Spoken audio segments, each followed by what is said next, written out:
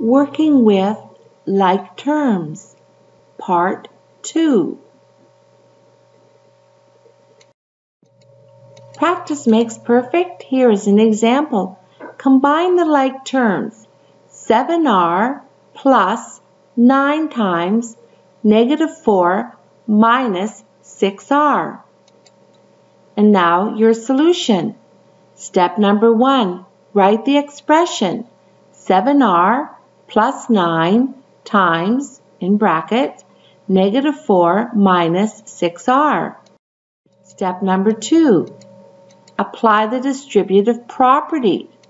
This would mean that we take the 9 in front of the bracket, distribute it to the negative 4, and then distribute it to the negative 6r. 7r plus 9 times negative 4 plus 9 times negative 6r would give 7r minus 36 minus 54r. Now we would collect like terms.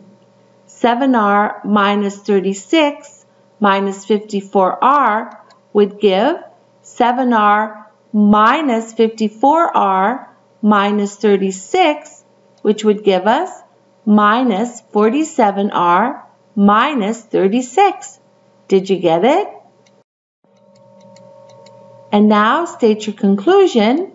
7r minus 36 minus 54r is equal to minus 47r minus 36. Variables are used in an expression to represent the values that can be substituted into to determine the value. Solve the algebraic expressions for the values given. 7 times in bracket 3r plus 4n when r is 8 and n is equal to 3. Hmm. Let's take a look at the solution. Number one, write the expression. 7 times in bracket minus 3r plus 4n, which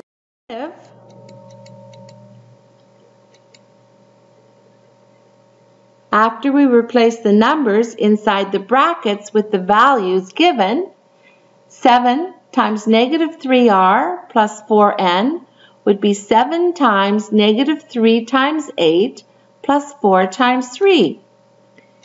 Work out the according to Bedmas. The work inside the brackets, 7 times negative 3 times 8 plus 4 times 3 is 7 times negative 24 plus 12.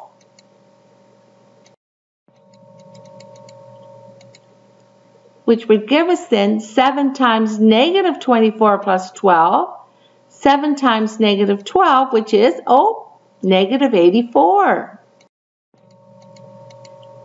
Now, state your conclusion.